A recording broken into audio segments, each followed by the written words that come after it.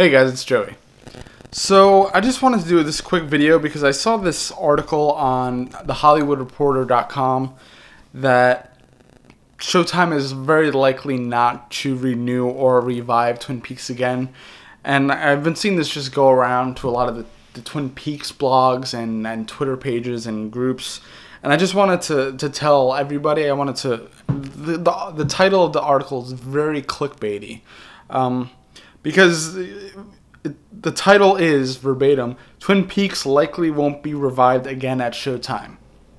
Okay. Well, that seems pretty serious. That doesn't I mean, that's that's a pretty bold statement. And then in the first paragraph of the article it says and this is a quote from Showtime CEO David Nevins.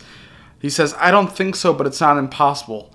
David Lynch and I are both avoiding the conversation for a while. We want the story to, we want to let the story coalesce and see how people feel at the end. So, right in the first paragraph, it's he's not saying no. He's saying they're going to wait and see it, see how it goes. Uh, I know David Lynch has said he's he would be interested in making more if there was more to tell. If him and Mark uh, felt there was more story they wanted to tell, I don't think there's ever been a straight up no. I don't think David Lynch has ever said he will not do more Twin Peaks. Even uh, even before this whole revival, I don't think David Lynch ever said that Twin Peaks was never going to happen. It was just never something that was on the forefront of his mind until like a couple years ago. So I just wanted to clarify what this article actually said, and then it goes and talks about sort of the the, the ratings, uh, which seems like it opened with about six hundred thousand viewers, uh, growing to eight hundred thousand, which I think is pretty solid. It's not millions and millions, but uh, for a show that's been essentially dead and a cult success for 25 years, I think it's pretty pretty good. Um, let's see. This is this also a quote from Nevins. Yes. Nevins also says, I'm really happy with the performance. It drove our business in a way that almost nothing else could. It's been interesting, and maybe it's a blinding glimpse of how Netflix looks at the world. Uh, it had a palpable effect on subscribers, even though its overall numbers are not as big as our biggest shows, but it has a very palpable effect on subscribers for multiple months now. So the subs- it doesn't have as many ratings as the biggest shows, but it also brought in a ton of subscribers. So I feel like a, a good way to keep a lot of the these subscribers and maybe have uh, to get more is to keep the show on and maybe get into discussions to make a season four.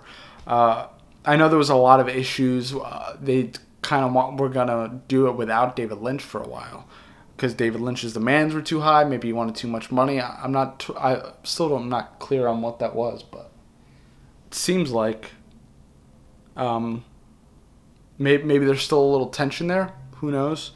Uh, but I, there's no straight, there's no surefire no. Nobody has said this is not going to happen. Um, so they got their, they got a high subscriber count. That it's all good news for the most part.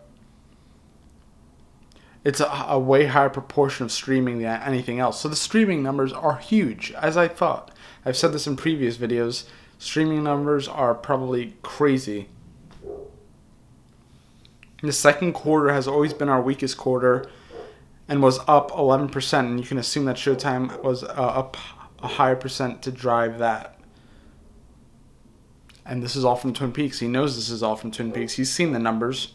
Um,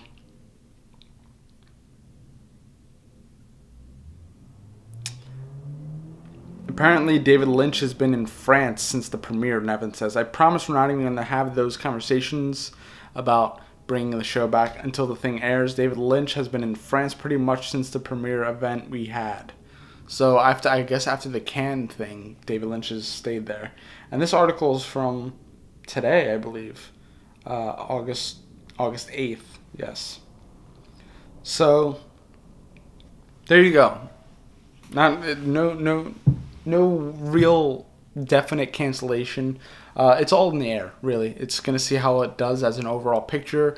I'm sure they're going to gauge how DVD and merch and Dice. They're all they're going to equate that all in, decide, talk with David Lynch, see what he wants to do, and Mark Frost, and see where it goes from there. So there's no definite no, but uh, it's up in the air. So I wouldn't get I wouldn't get your hopes up, but I wouldn't be uh, I wouldn't be too cynical about a possible season four either, or some other form of the show, maybe uh, another movie. All right, guys, that's all. I'm not even gonna edit this. I'm just gonna upload it. Uh, that's all I really wanted to talk about because I, I just I saw it. It sort of was everywhere. This this article was everywhere today, and I just wanted to make something clear on my channel. Hope the a lot of people that were concerned see this that didn't get a chance to read the article, and if this is news to you, then you're in the clear. All right, guys. I shall catch you very soon.